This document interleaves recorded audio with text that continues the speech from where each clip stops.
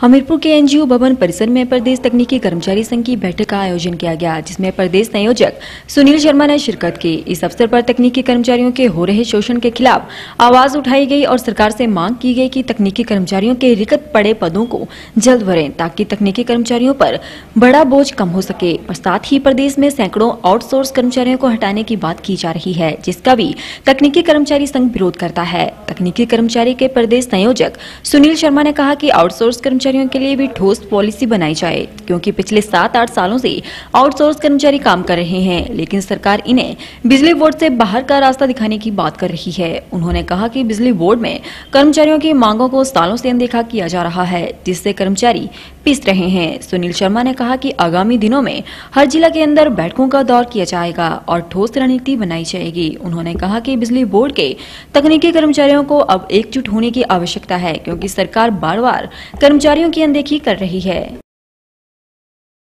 तो हर जिला के अंदर बैठकों का दौर होगा, फिर जिला सम्मेलन होंगे।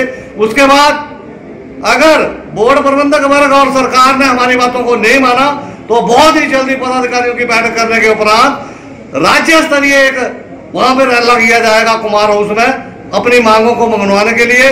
तकनीकी कर्मचारी संघ तकनीकी कर्मचारियों के लिए सदैव लड़ता रहा है और लड़ता रहेगा। इनको हकों, इन तकनीकी कर्मचारियों के हकों की रक्षा करने के लिए ही तकनीकी कर्मचारी संघ बना है और ये सदैव इनकी जो है, डिमांडों को पूरा करवाएगा।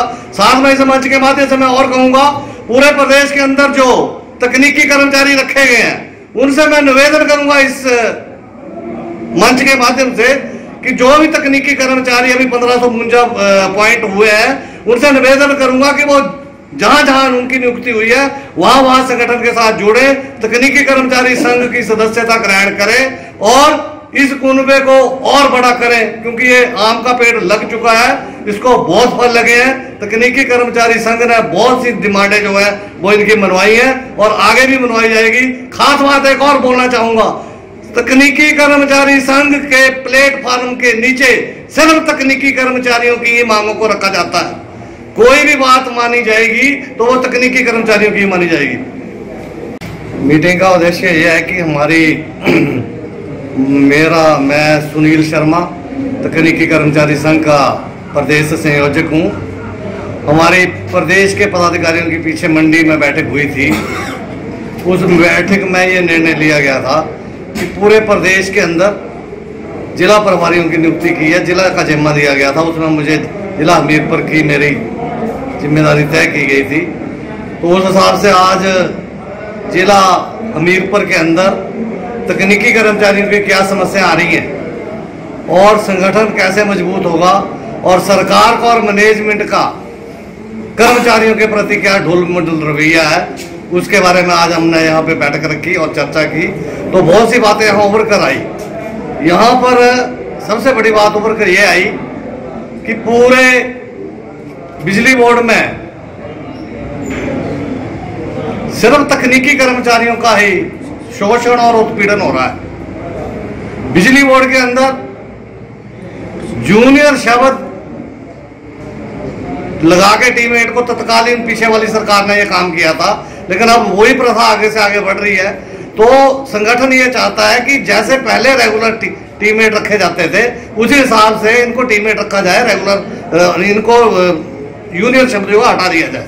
और साथ में मैं सरकार और मैनेजमेंट के एक बात और बताना चाहूँगा यहाँ से, जो यहाँ पे बातें उभर के आई है, जो इकाइयों के पदाधिकारियों ने बातें रखी, कि हमारे पास अभी जो पंद्रह सौ बानवे अपॉइंटमेंट्स बोर्ड ने किए हैं, उनमें जो उसके बाद क्या हुआ कि इन्होंने एक आउटसोर्स वाले जो हमारे पास आठ आठ, दस दस साल से बंदे काम कर रहे हैं, जो सुचारू रूप से बिजली चला रहे हैं लोगों के घरों की बिजली ठीक कर रहे हैं। आठ आठ दस साल का उनको एक्सपीरियंस है। उनको पता है कैसे बिजली चल रही है कहाँ से फ्यूज जोड़ना है।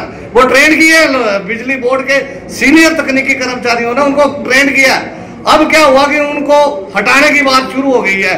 तो मेरा सरकार से और प्रबंधक वर्ग से ये कहना है कि पिछले तीन साल में दो साल में कम से कम छह हज़ार तकनीकी कर्मचारी सेवा मृत्यु है।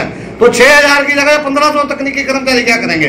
तो मेरे कहने का तात्पर्य यह है कि इनको, ये जो और सोर्स बड़े कर्मचारी हैं, इनको कोई स्थायी नीति बनाकर बिजली बोर्ड में ही समायोजित किया जाए ताकि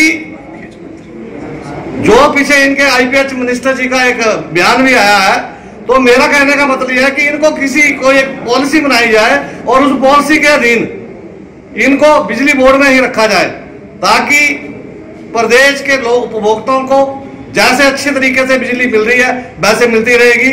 और काम भी सही तरीके से चला हुआ है तो इन लोगों, इन कर्मचारियों को भी बिजली बोर्ड में ही कोई नीति बनाकर रखा जाए। साथ में